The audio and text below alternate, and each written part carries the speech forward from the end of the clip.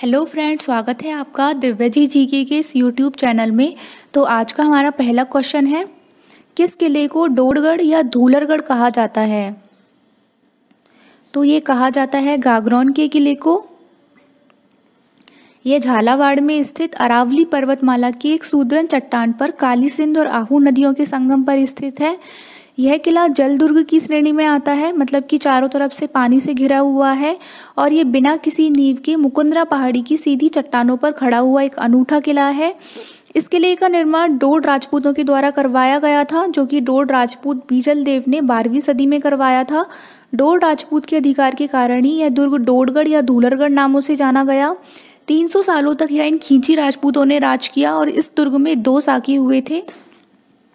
पहला चौदह सौ तेईस ईस्वी में हुआ था अचलदास खींची और मांडू के सुल्तान होशंग शाह के मध्य भीषण युद्ध हुआ, जिसमें अचलदास खींची वीरगति को प्राप्त हुए थे और उनकी रानियों ने अपने आप को जौहर की अग्नि में झोंक दिया, जिसे घाघरौन का प्रथम साका कहा गया। और दूसरा सागा चौदह ईस्वी में पालणसी खींची जो कि अचल देव अचलदास खींची का ही पुत्र था। उस पालणसी खींची और महमूद खिलची के मध्य युद्ध हुआ था और जिसमें पालणसी खींची को भीलों ने मार दिया था और धीरज देव के नेतृत्व में केसरिया हुआ और रानियों ने जौहर किया, जिसे गागरौन का दूसरा साका कहा गया। इस विजय के बाद सुल्तान ने इस दुर्ग का नाम मुस्तफ़ाबाद रख दिया। इस गागरौन के किले में मुस्लिम संत पीर मिठे साहब हमीद हमीदुद्दीन चिश्ती की दरगाह भी है और 21 जून 2013 को यूनेस्को के द्वारा विश्व धरोहर सूची में इस दुर्ग को शामिल किया गया था। यहाँ के तोते प्रसिद्ध हैं और यह दुर्ग दूर से देखने पर एक हिंदू को मंदिर और मुस्लिमों को मस्जिद नज़र आता है। यह एकमात्र ऐसा किला है जिसके तीन परकोटे मौजूद हैं। सामान्यतः सभी किलों में दो ही परकोटे होते हैं। हमारा दूसरा क्वेश्चन है, सास बहू का मंदिर कहाँ स्थित है? तो ये है नागदा में, ये कुछ इस तरीके से दिखाई देता है। यह उदयपुर से तेईस किलोमीटर दूर नागदा गाँव में स्थित है यह मंदिर, जो कि भगवान विष्णु को समर्पित है। और बोला जाता है, इस मंदिर का निर्माण 1100 साल पहले कछवाहा राजवंश के राजा महीपाल और राजा रत्नपाल ने करवाया था। जो राजा महीपाल है, उनकी पत्नी भगवान विष्णु की भक्त थी तो उनके पूजा अर्चना के लिए महीपाल ने भगवान विष्णु का मंदिर बनवाया और कुछ सालों के बाद ही रानी के पुत्र का विवाह हुआ और उनकी बहू जो थी, वो भगवान शिव को पूछती थी। तो राजा ने अपनी बहू के लिए उसी मंदिर के पास भगवान शिव का मंदिर बनवाया। तब से यह मंदिर सास बहू के नाम से मशहूर हो गया। इस मंदिर में भगवान विष्णु की 32 मीटर ऊँची और 22 मीटर चौड़ी सौ भुजाओं वाली मूर्ति लगी हुई है, जिसकी वजह से इस मंदिर को सहस्त्र मंदिर भी कहा जाता है। पिछुआई कला कहाँ की प्रसिद्ध है? तो पिछवाई कला नाथ द्वारा की प्रसिद्ध है। ये एक राजसमंद ज़िले में छोटा सा धार्मिक नगर है नाथ द्वारा, जो कि बल्लभ संप्रदाय की प्रमुख पीठ भी है। और पिछवाई चित्रकाली चित्रकला यहाँ का एक महत्वपूर्ण अंग है चित्रशैली का। और पिछवाई शब्द का अर्थ होता है पीछे वाली, यानी कि जो श्रीनाथ जी मंदिर या अन्य मंदिरों में जो मुख्य मूर्ति होती है, उसके पीछे दीवार पर लगाने के लिए इन बड़े आकार के चित्रों को काम में लिया जाता है। पिछवाई चित्र जो होते हैं, आकार में बड़े होते हैं और इनको प्राय कपड़ों पर बनाया जाता है। प्राय सूती कपड़े पर ही पिछवाई की रचना की जाती है। ये चित्र मंदिर की भव्यता बढ़ाने के साथ साथ भक्तों को श्री कृष्ण के जीवन चरित्र की भी जानकारी देते हैं। इन प्रमुख आकृति में भगवान श्री कृष्ण और राधा जी होते हैं। इन चित्रों को बनाने का जो मुख्य कार्य होता है, मुख्यतः चितारा जाति के लोगों के द्वारा किया जाता है। ये इन कलाकृतियों के जो प्रमुख गढ़ हैं, वो नाथ द्वारा और उदयपुर हैं। और समय के साथ पिछवाई कला व्यावसायिक हो गई है तो मात्र मंदिरों में ही नहीं, बल्कि इसको घरों में भी सजाया जाता है। और खरीदार जो होते हैं, अपनी इच्छा के अनुसार इसको अलग अलग आकारों में और अलग अलग विषयों में बनवाते हैं। मोरेन नदी किसकी सहायक नदी है? तो मोरेन नदी माही नदी की सहायक नदी है, जो कि डूंगरपुर की पहाड़ियों से निकलकर गलियाकोट के निकट माही में मिल जाती है। माही नदी की बात करें तो यह पश्चिमी भारत की एक प्रमुख नदी है, जिसका उद्गम मध्य प्रदेश से होता है और गुजरात, राजस्थान राज्यों से होती हुई खम्बात की खाड़ी द्वारा अरब सागर में गिर जाती है। इसकी कुल लंबाई है पाँच सौ छिहत्तर किलोमीटर, जिसकी राजस्थान में लंबाई है एक सौ छिहत्तर किलोमीटर। माही नदी को दक्षिणी राजस्थान की स्वर्ण रेखा भी बोला जाता है और बांगड़ व काठल की गंगा या आदिवासियों की गंगा भी बोला जाता है। डूंगर और बांसवाड़ा ज़िले की सीमा का निर्धारण भी माही नदी करती है। माही नदी भारत की एकमात्र ऐसी नदी है जो कर्क रेखा को दो बार काटती है। माही नदी की कुछ सहायक नदियाँ भी हैं, जैसे कि सोम, जाखम, चाप, अनास, मोरेन और इरू। किस क्षेत्र को छप्पन का मैदान कहा जाता है। तो ये कहा जाता है माही बेसिन को। तो छप्पन का मैदान राजस्थान के माही बेसिन में है और यह क्षेत्र में डूंगरपुर, बांसवाड़ा ज़िले का दक्षिणावर्ती क्षेत्र आता है। इस मैदान पर माही बेसिन में छप्पन नदी नालों का जल प्रवाहित होने के कारण ही इसे छप्पन या छप्पनिया का मैदान कहा जाता है। खातौली का युद्ध कब लड़ा गया था? तो खातौली का युद्ध लड़ा गया था 1517 ईस्वी में।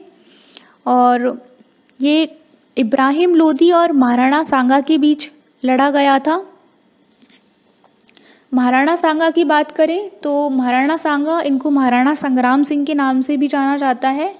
ये उदयपुर में सिसोदिया राजपूत राजवंश के राजा थे और राणा रायमल के सबसे छोटे पुत्र थे।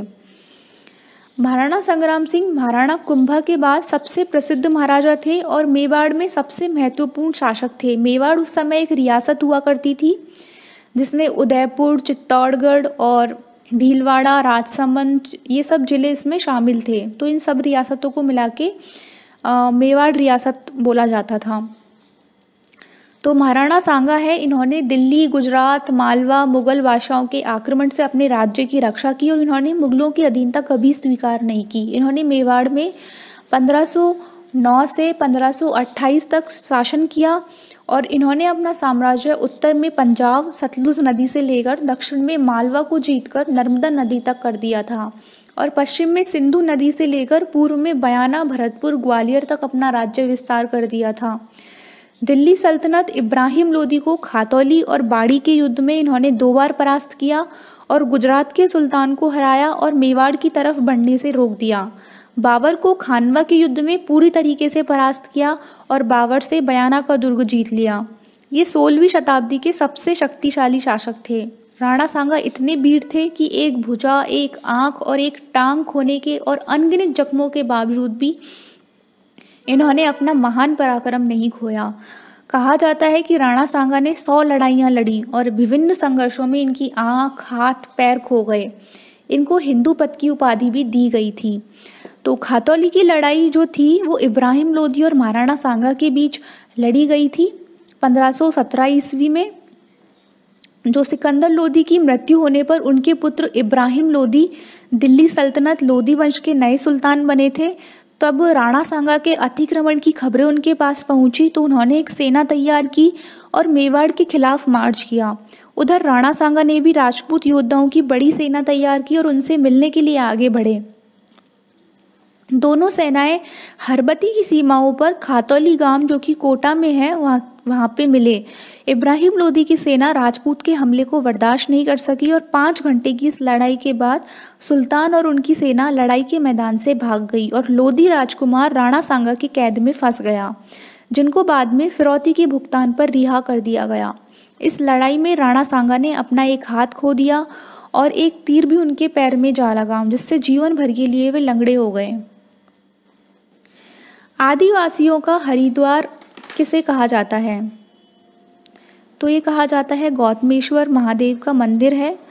तो बोला जाता है कि ये मंदिर पाप मोचन मंदिर है, प्रतापगढ़ ज़िले में स्थित है और यह दक्षिणी राजस्थान की कांठल, बांगड़ और मालवे समेत आसपास के इलाकों में आदिवासियों के हरिद्वार के नाम से जाना जाता है। कांठल बोला जाता है प्रतापगढ़ को और बांगड़ में डूंगरपुर और बांसवाड़ा ज़िले आते हैं। ये आदिवासियों का क्षेत्र है और इस मंदिर के आँगन में एक कुंड भी है जो माना जाता है कि यहाँ पे डुबकी लगाने मात्र से ही सारे पाप नष्ट हो जाते हैं, इसलिए इस मंदिर को आदिवासियों का हरिद्वार भी कहा जाता है। और यहाँ पे डुबकी लगाने वाले व्यक्ति को एक पाप मुक्ति सर्टिफिकेट भी दिया जाता है, जो व्यक्ति ग्यारह रुपये देकर उनको दिया जाता है। यहाँ प्रत्येक वर्ष मई महीने में मेला लगता है बोला जाता है कि यहाँ पे गौतम ऋषि से अनजाने में एक जानवर की हत्या हो गई थी तो उन्होंने इस हत्या के दोष से मुक्ति पाने के लिए यहाँ तपस्या की और कुंड में स्नान करके पाप मुक्त हुए थे। तो उस समय से ही इस कुंड में डुबकी लगाने की परंपरा शुरू हो गई। लालगढ़ महल कहाँ स्थित है? तो ये बीकानेर में स्थित है। बीकानेर राजस्थान के उत्तर पश्चिमी भाग में स्थित एक जिला है। जो अपने वैभव और इतिहास के लिए प्रसिद्ध है और क्षेत्रफल की दृष्टि से जैसलमेर और बाड़मेर के बाद तीसरा सबसे बड़ा जिला है। बीकानेर एक ऐसा शहर है जिसका निर्माण स्वयं एक विशाल किले के चारों ओर किया गया है। इस शहर में और उसके आसपास के एरिया में कई किले स्थित हैं, जो इसे एक भव्य दर्शनीय स्थल बनाते हैं। उनमें से एक है लालगढ़ महल। तो लालगढ़ महल बीकानेर के महाराजा गंगा सिंह ने अपने पिता महाराजा लाल सिंह की स्मृति में बनवाया था। यह महल ब्रिटिश द्वारा बनवाया गया था। इस महल का डिज़ाइन ब्रिटिश वास्तुकार स्विंटन जैकव ने किया था। सारा का सारा महल लाल पत्थर से बना हुआ है, जिस पर खुदाई का बड़ा उत्कृष्ट काम है और यह काफ़ी विशाल है। इसमें सौ से भी अधिक भव्य कमरे हैं। इस महल की सबसे अद्भुत संरचना इसका भोजन कक्ष है, जिसमें एक ही समय में लगभग 500 से भी अधिक लोग खाना खाने के लिए बैठ सकते हैं। और इस किले को सोनम कपूर के द्वारा जो फ़िल्म आई थी, खूबसूरत में फबाद खान के शाही घर के रूप में भी दिखाया गया है। सालासर बालाजी का मंदिर कहाँ स्थित है? तो ये चूरू में स्थित है। ये बहुत ही फ़ेमस मंदिर है। ये हनुमान जी का मंदिर है, जो कि चूरू के सालासर गाँव में स्थित है। माना जाता है कि यहाँ पे जो भी मनोकामनाएँ मांगी जाए, वह पूरी होती है और यह स्थल सिद्ध हनुमान जी की पीठ भी मानी जाती है। ऐसा माना जाता है कि यहाँ हनुमान जी की प्रतिमा स्वतः प्रकट हुई थी और भारत में यह एकमात्र बालाजी का मंदिर है, जिसमें बालाजी की दाढ़ी मूछ है। और प्रत्येक वर्ष यहाँ पे दो बड़े मेलों का आयोजन भी किया जाता है। ये मेले चैत्र और अश्विन पूर्णिमा माह में लगते हैं। लाखों की संख्या में भक्तगण देश विदेश से यहाँ पे दर्शन के लिए आते हैं और यह मंदिर पूरे साल खुला रहता है। गंगानगर की जीवन रेखा कहा जाता है। तो गंगानगर की जीवन रेखा बोला जाता है गंग नहर को। गंगानगर राजस्थान के उत्तर में स्थित एक जिला है और गंग नहर एक सिंचाई परियोजना है जो कि गंगानगर को सिंचाई व पानी के लिए सुविधा उपलब्ध करवाती है। इसका निर्माण बीकानेर के महाराजा गंगा सिंह के द्वारा किया गया था। महाराजा गंगा सिंह के प्रयास से ही गंग नहर के निर्माण के द्वारा सतलुज नदी का पानी राजस्थान में लाने हेतु 4 दिसंबर 1920 को बीकानेर, भागलपुर और पंजाब राज्यों के बीच सतलुज नदी घाटी समझौता किया था। तो फिर 26 अक्टूबर 1927 को तत्कालीन वायसराय लॉर्ड इरविन ने श्री गंगानगर के शिवपुर हेडबॉक्स पर इस नहर का उद्घाटन किया और 26 अक्टूबर को ही गंगानगर स्थापना दिवस भी मनाया जाता है। यह नहर शतलुज नदी से पंजाब के फिरोजपुर के हुसैनी वाला से निकाली गई है और श्री गंगानगर के सखा गाँव से राजस्थान में प्रवेश करती है। इसकी कुल लंबाई एक सौ उनतीस किलोमीटर है, जिसमें से 112 किलोमीटर पंजाब में बहती है और एक सत्रह किलोमीटर राजस्थान में है।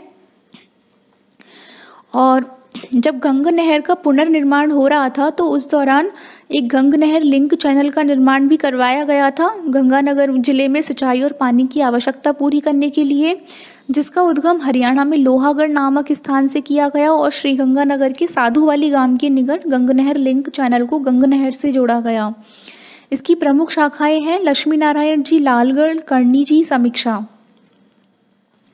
तो बस ये थी आज की वीडियो। अगर आपको वीडियो अच्छी लगी हो तो प्लीज़ लाइक करना, शेयर करना और चैनल को सब्सक्राइब करना।